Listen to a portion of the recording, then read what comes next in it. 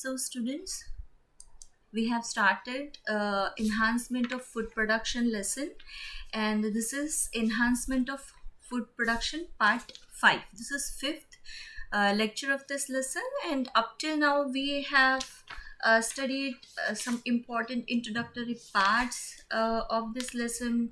Biofortification methods what is scp that is what is single cell protein what is tissue culture the stages various steps which are involved in the tissue culture process that is callus culture formation and all uh, breeding techniques we have studied up till now. So today we are going to discuss this dairy farm management okay? So what is dairy farm management? Uh, it can be asked for, uh, for theoretical question short note can be asked on this uh, part. Of apart from that the names of the various uh, uh, animals which are involved in the dairy farm management they can be asked okay? That means very short answer questions can be uh, are possible on this part. So what is dairy farm management? Dairy farm industry involves production of processing and distribution of milk and milk products. So milk is a valuable foodstuff universally consumed by human beings. Uh, milk yield mainly depends on the quality of breeds in the farm. This is very important and for that the breeds which we are using or which are used uh, commonly in the dairy farm management the names are very important so selection of good breeds having high yielding potential under the climatic conditions of inhabiting area uh, and disease resistance uh, of those breed that capacity of disease resistance that the, these are the basic requirement uh, for the dairy farm management in India, cows and buffaloes, they are mainly used for dairy farms, as we all know that.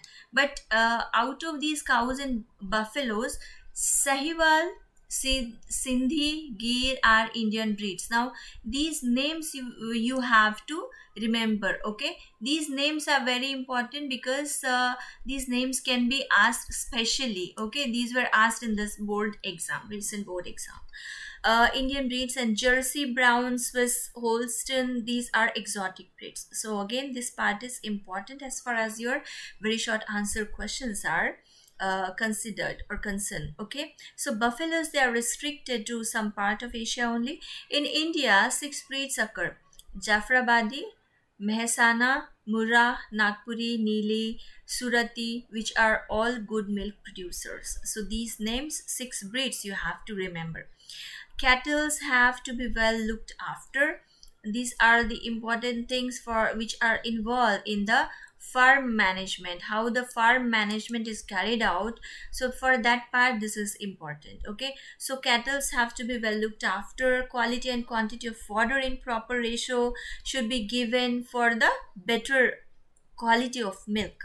So silage made for uh, from legumes and grasses. Silage is a kind of uh, uh, a product which is used to feed the uh, animals okay? So uh, you can uh, go through the google uh, for this silage okay? And you will uh, come to know what the structures are also provided okay? So it's a grass or other green fodder silage means uh, so grass or other green fodder which is compacted and stored in airtight conditions typically in a silo without first being dried and used as animal feed in the winter. So that part is called as silage. Okay? So it is made up from legumes and grasses maize and jowar makes good feed Silage is supplemented with oil cakes, minerals, vitamins and salts. So cleanliness and hygiene of the cattle. Now this part is important as far as dairy farm management, how it is uh, carried out. So this is your answer that cleanliness and hygiene of the cattle and handlers is of a, a more uh, importance while milking, storage and transport of milk and milk products. In recent years, much of these processes, they are mechanized, okay? Uh, which reduce uh, the chance of direct contact with the product and the shade must be uh, cleaned daily. It should be spacious with adequate facilities for uh, feeding, watering, lightening, etc lighting etc so milk processing and marketing and uh, distribution play an important role in dairy industry. Variety of milk product like curd, cream, butter, ghee, condensed milk, koa, cheese must be prepared from extra milk and on demand. An additional income can be obtained in the cattle farms uh, from cow dung, manure, fuel cakes, go, uh, gobar gas for uh, gobar gas for cooking and lighting. So that is the additional income. So that's all about farm dairy farm management. The names of the uh, animals and how the dairy farm management is carried out. So that is important. What is poultry farm management now? Poultry includes number of bird species such as chicken, ducks, turkey and fowls which are domesticated for their eggs and meat. Allied professions to poultry include processing of eggs and meat, marketing of poultry products, uh, compounding and sale of poultry feed, poultry equipment, pharmaceuticals, feed additives, etc. So all this is very uh, essential as far as this poultry farm or management is concerned. Selection of a proper and disease-free uh, breed, suitable and safe farm condition, proper feed and water, hygiene and health care are important requirements. What is important? The disease a free breed, suitable safe farm condition, proper feed and uh, water, hygiene and health care. These are important for the poultry management. Uh, on the basis of their origin, different types of poultry breeds are uh, American breeds, Plymouth Rock, New Hampshire, any one name you have to remember out of all these examples, okay? So Leghorn is the best layer. Now these names are very important because special uh, very short answer question can be asked on this.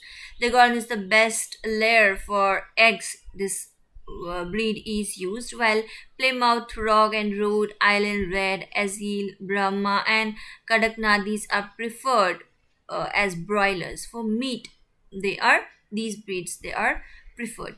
So management of layers requires purchase of high yielding chicken, well ventilated farms, a proper feed, debeaking, lighting, waterer, sanita sanitation, culling, vaccination, management of broiler requires selection of breed, housing, temperature, ventilation, lighting, floor space and broiler feed. So these are the basic requirements for the poultry management. Now, what are the different poultry diseases? So that part is important. A question can be asked on this especially, okay? What, which are the viral disease like Ranikhet, bronchitis, avian, uh, influenza or bird flu. These are uh, the viral diseases. Few years back, bird flu have seriously uh, influenced poultry farming and human infection too. So bacterial diseases now mainly includes uh, pullorum, cholera, typhoid, TB, CRD that is chronic respiratory disease, enteritis, etc. Fungal diseases like aspergillosis, favus and thrush. Okay, so they can be used. Uh, they, these are the fungal diseases. Parasitic diseases, the uh, lice infection, roundworm, sickle worm infection, etc. Protozoa diseases, uh, coccidiosis, it is a protozoa disease so that's all about the poultry management now what is apiculture or beekeeping? Apiculture or beekeeping deals with an artificial rearing of honeybees. Naturally the honeybee now these are the honeycombs right? Honey beehives so naturally they are present on a tree branches. But when this uh, this uh, apiculture or beekeeping is carried out artificially then that is a different kind of management okay? So what we get by this artificial rearing of honeybees we get bee products like honey wax pollens bee venom propolis that is bee glue and royal jelly as well as pollinating agents for crop plants. For, for that, it is important. Beekeeping is an ancient cottage industry. Honey is a food of hive, nutritive value, and also finds uses in the indigenous system of medicines. So the four species of honeybees, they are commonly used in Indian, uh, India are Apis dorsata, that is rock bee or wild bee. Now these names are important because these are the four species which are used in India. Second is Apis florea, that is little bee, Apis mellifera, that is European bee, and Apis indica, that is Indian bee. Now see, this is worker bee, queen, and drone. These are honeybee. These are various kinds of honeybees. What is polymorphism in honeybee? Beekeeping is practiced in areas where sufficient wild shrubs, now these are the basic requirements okay for bee uh, keeping. These are required. So what are the basic requirements? That is the sufficient wild shrubs then fruit orchards uh, cultivated crops they are required beekeeping requires the equipments. Various equipments they are also used in beekeeping. That is bee hive boxes with comb foundation sheets bee veil smoker bee brush gloves gumshoes uncapping knife uh, swarm net, queen excluder, overall hive tool, etc. So all these are uh, involved. So this is artificial beehive. You can see this is outer cover with the crown board. This is inner cover, honey super. Uh, these are the frames with wax foundation. This is queen excluder, hive bodies, uh, entrance reducer, floorboard and bottom stand. So artificial beehive. For successful beekeeping, one must be familiar with the habits of bees, selection of the suitable location, their catching and hiving of swarms. Uh, management of hives during the different seasons, handling and uh, collection of honeybee, wax, other products. So periodic inspection for cleanliness of hive boxes, activity of bees and uh, queen condition of brood, provision of water, this is necessary as far as the polymorphism in honeybee is concerned.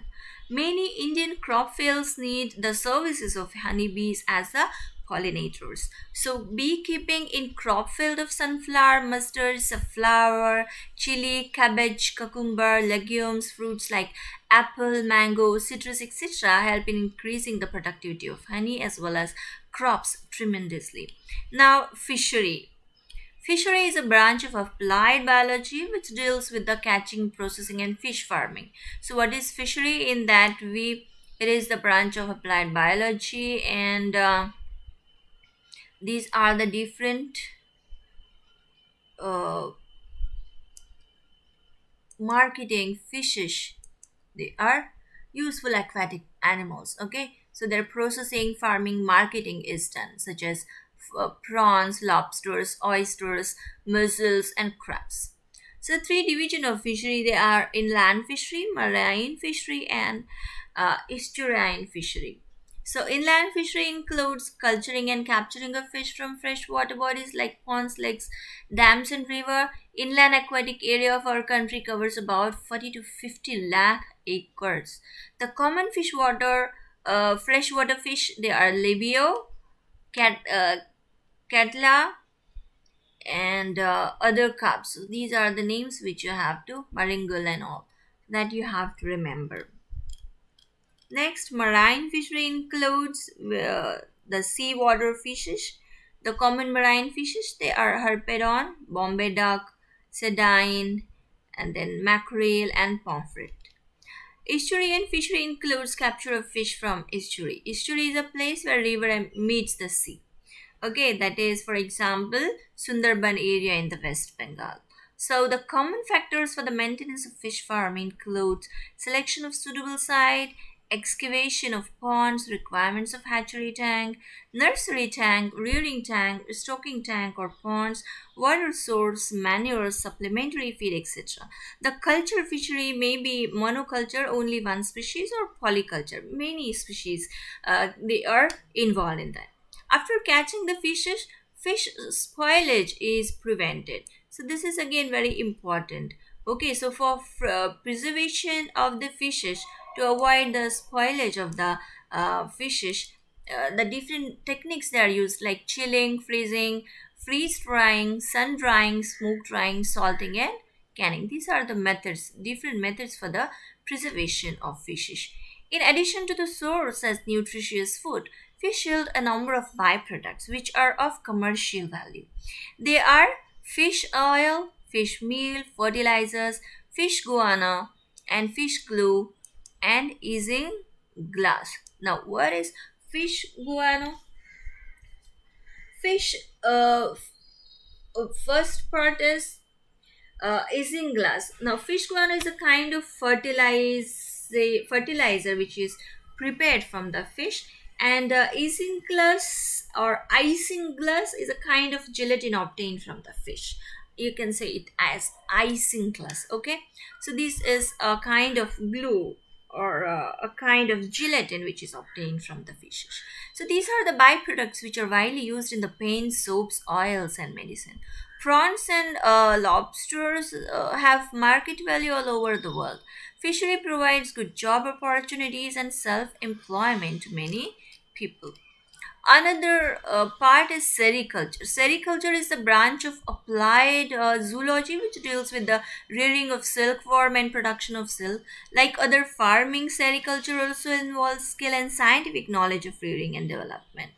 It requires less investment and can be started in small space. That is again the biggest advantage of the sericulture that it requires less investment and it can uh, get started in small space. So it is the oldest business and large number of families are associated with the production of silk in India. Disabled, older persons, handicapped people can successfully do this job. This is again a very important thing. Okay. So now let's try to understand the life cycle of silk moth or that is mulberry silk worm. See this is the adult female and uh, eggs on the mulberry leaf. It lay eggs on the mulberry uh, leaf. Now this is another part that is mature caterpillar, uh, dorsal horn, ab abdominal pseudo legs, spiracles, thoracic true leg. So in short, this is mature caterpillar which get uh, produced by these eggs and then it gets converted into a cocoon and after the formation by after the uh, breakage of this cocoon we get again the adult butterfly okay so the best quality silk or mulberry silk is produced by silkworm, Bombyx mori, while Tussar silk and Eri silk they are inferior quality. Now these names are very important for your exam. The quality and quantity of silk depends on the quality of mulberry leaves on which the larvae feed. So that quality of the silk uh, it depends on the leaves on which the on which the larvae they are uh, feeding okay? So rearing and development and looking after the silkworms involves skill and labor for constant watch a little negligence can spoil the complete industry. Silkworm uh, larvae may be infected by protozoans, viruses, and fungi. Besides this, ants, crowns, birds, and uh, crows, uh, birds, and other predators, they are ready to attack these insects. Hence, the cages of these larvae must be managed to prevent the predators' attack. Uh, what is lac culture? Before going to that part, this is important. See this is egg laying end of leg egg laying silk spots indicate shrinking of female this is hatching these are the larvae these are also called as crawlers larvae settling on host these are the pupa male comes out from anal operculum incomplete metamorphosis occurs here this is adult female and this is male complete metamorphosis. Adult male and female, there is fertilization and again it forms this egg. Okay. So this is uh, this is the life cycle of lac insect. Now what is lac culture? Lac is produced by an insect that is called as Tachardia lacca. Now this name is important, which is quite small in size and colonial in habit Resin-like substance is produced by the dermal glands of the female lac insect. Now, these uh, resin-like substance it is formed or produced by the female lac insect by the dermal glands. Derma means skin. So, the from the upper skin or that part, the glands they secrete the resin-like substance. Insect feeds on succulent twigs of the certain plants like bear peepal, palas, kusum, babul, etc. and uh, secretes pink colored resin that hardens on coming uh, in contact with air forming lac. It is produced on the large scale all over the India. Lac is a complex substance having large amount of resin together with sugar, water and minerals and alkaline derivatives. This part is important. What is lac? So this question can be asked. Natural lac is always contaminated. Shellac is pure form of lac obtained by washing and filtering. Lac insect is a native of India and owl share is 85% of total lac produced in the world. Products of lac play a vital role in the economy of the farmers. Lac is used in bangles, toys, woodworks, inks, mirrors, etc. So production of lac requires an artificial inoculation of plants which give better and regular supply of good quality and quantity of lac. So that's all about all the managements. Uh, this as far as the names of the uh, insects, animals uh, or the names, all the names are very important. Okay. Uh, these can be asked for very short answer question uh, the diagrams are not much essential because as I have already explained that this lesson is having less uh, weightage. So the diagrams were never asked just like the life cycle, the uh, structure of honeybees. Okay, so these diagrams are not that much important. So you just concentrate on the uh, theoretical part that how the dairy management is carried out, how the sericulture is carried out okay so that part is important prepare of uh, minimum 8 to 10 points for uh, 2 marks short answer question or short note and uh, another thing is the names the diseases this is very short answer question these uh, can be asked uh, as far as this part is concerned okay? So we will study the microbes which are used in the uh, dairy food production and industrial in the various industries how they are used okay? So that's all uh, for today's session. Thank you